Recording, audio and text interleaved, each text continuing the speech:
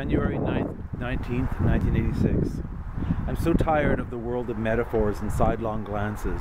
I've got to get away to somewhere warmer and not just for a brief reprise. I was worried about leaving Leon behind, but that's increasing, becoming increasingly more necessary. I won't stand for a repeat performance of my relationship with Martin. I know I can hold out for longer than six months, but every day is a struggle.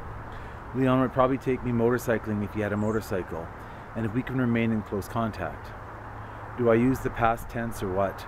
He and I are cr- crawling forward blindly, moment by moment, instead of the brave leaps we made early on in our relationship.